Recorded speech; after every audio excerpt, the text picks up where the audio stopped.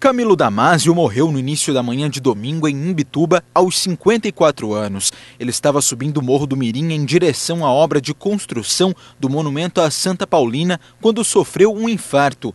Camilo chegou a receber os primeiros socorros, mas não resistiu. O peregrino foi um dos principais idealizadores do monumento, que promete ser um dos maiores pontos turísticos do sul de Santa Catarina. Camilo deixa esposa, três filhos e um neto.